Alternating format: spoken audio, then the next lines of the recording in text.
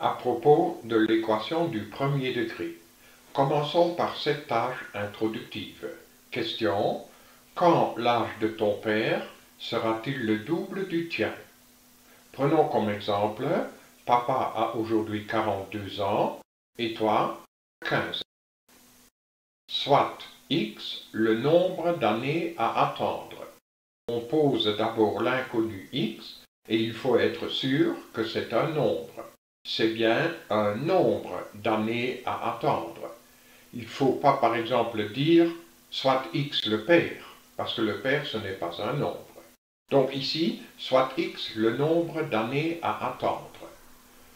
Dans 5 ans, papa, il aura 42 plus 5 ans. Dans 12 ans, papa aura 42 plus 12 ans. Et c'est ainsi, en prenant des exemples, qu'on arrive à déterminer que dans x ans, papa aura 42 plus x ans. Et on fait la même chose pour toi. Dans 5 ans, tu auras 15 plus 5 ans. Dans 12 ans, tu auras 15 plus 12 ans. Et donc dans x ans, tu auras 15 plus x ans. Et x est le nombre d'années à attendre jusqu'à ce que l'âge de papa sera le double du tien. Par conséquent, on peut maintenant rédiger l'équation. L'âge de papa dans x ans, ça sera 42 plus x. Ton âge dans x ans, ça sera 15 plus x. Et ton âge multiplié par 2 à ce moment-là, ça sera l'âge de papa. Nous voyons ainsi que cette tâche mène vers une équation du premier degré à une inconnue. Donc, encore une fois, cette tâche mène vers une équation du premier degré à une inconnue que nous définissons de suite en général. D'abord, une équation, ça c'est une égalité qui est vérifiée pour certaines valeurs de l'inconnu. Une équation est du premier degré à une inconnue si l'unique inconnu apparaît seulement sous sa première puissance. Voyons maintenant, au moyen de cinq exemples, comment on peut résoudre une équation du premier degré. Voici le premier exemple. Nous avons le nombre à gauche x-2 qui est égal au nombre à droite 4. Pour résoudre une telle équation, on peut faire la comparaison à deux tirelires qui contiennent le même nombre d'euros. Donc nous ne savons pas combien d'euros il y a à gauche et combien d'euros il y a à droite. Nous savons juste que la quantité d'euros est la même.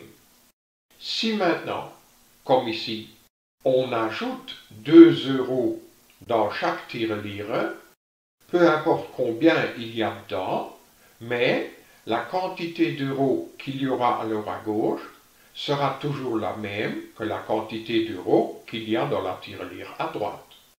Pour notre équation, ça signifie que si on ajoute 2 à gauche et on ajoute 2 à droite, l'égalité reste conservée.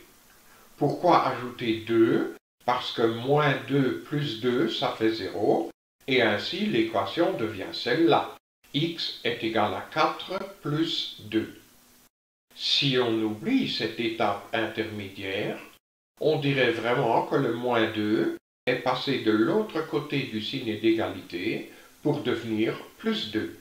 Et 4 plus 2, ça fait 6. Donc la solution de l'équation, c'est 6. Et cette solution, à la fin de la résolution de l'équation, on la met toujours dans l'ensemble solution que j'ai désigné ici par L, L comme Lösungsmenge en allemand. Si vous préférez l'appeler S comme solution, ou même Sol comme solution, vous pouvez bien sûr. Deuxième exemple. x plus 1 est égal à moins 3. Comparons toujours ça aux deux tirelires contenant la même quantité d'euros. Si de chaque tirelire je retire un euro, elles contiendront toujours la même quantité d'euros. Donc si ici je soustrais un des deux côtés, l'égalité reste conservée. Pourquoi soustraire 1 Parce que là, nous avons maintenant 1 moins 1, et ça, ça fait 0. Donc notre équation, c'est celle-là.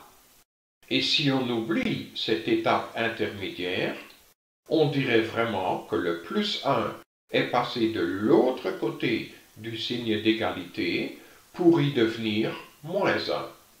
Donc x vaut moins 3 moins 1, c'est-à-dire moins 4, solution que nous mettons bien sûr dans l'ensemble solution.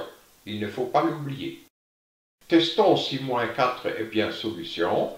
Moins 4 plus 1, ça fait bien moins 3. OK. Exemple suivant. x divisé par 3 est égal à 6.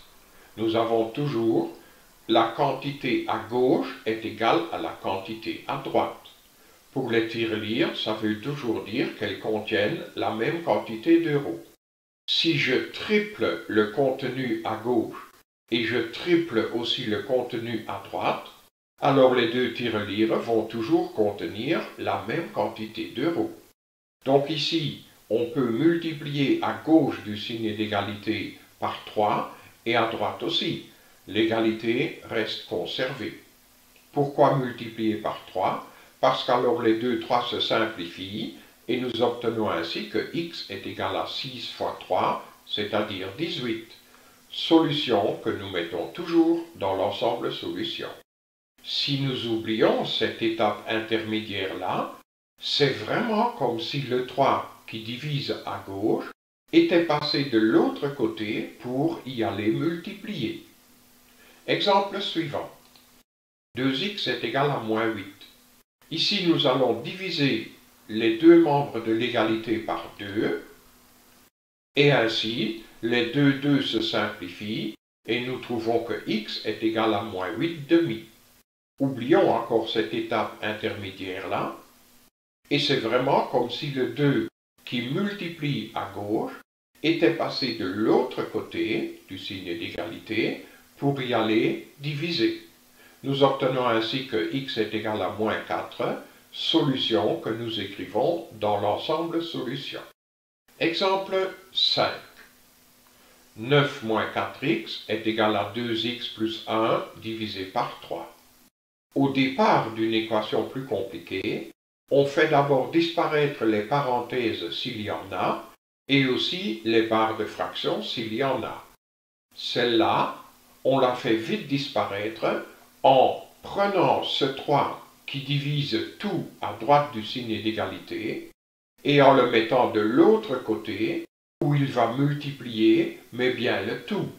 Donc, le 3 multiplie le 9 et le moins 4x, ce qui nous mène alors vers cette équation-là. 27 moins 12x est égal à 2x plus 1. Étape suivante, on fait passer tous les termes en x à gauche du signe d'égalité et les termes indépendants, c'est-à-dire les termes indépendants de x, qui ne contiennent pas de x, de l'autre côté, donc à droite du signe d'égalité. Ce moins 12x est à gauche et il y reste. Ce plus 2x est à droite. On le met à gauche et il devient moins 2x. Donc à gauche, on aura moins 12x moins 2x, c'est-à-dire moins 14x. Ce 1 est à droite et il y reste. Ce 27 est à gauche on va le mettre de l'autre côté du signe d'égalité, où il devient moins 27, et 1 moins 27, ça fait moins 26, d'où cette équation-là. Maintenant, il y a encore le nombre moins 14 qui multiplie à gauche. On va le mettre à droite, où il va diviser, et attention, il n'est pas question de changer le signe. Donc, on aura x est égal à moins 26 divisé par moins 14. Et moins 26 sur moins 14, ça fait 13 septièmes. Ne pas oublier à la fin de mettre le 13 septième dans l'ensemble solution. En fait, la résolution d'une équation du premier degré peut se résumer par ce tableau-là nous avons toujours un signe d'égalité puisque c'est une équation. Il y a un membre de gauche et un membre de droite. Si on fait passer un plus de l'autre côté du signe d'égalité, alors il devient moins. Un moins passe de l'autre côté où il devient plus, un fois passe de l'autre côté où il devient divisé, et un divisé passe de l'autre côté où il devient fois. Et ce tableau, on peut aussi le lire de droite à gauche, un moins passe de l'autre côté du signe d'égalité et il devient plus.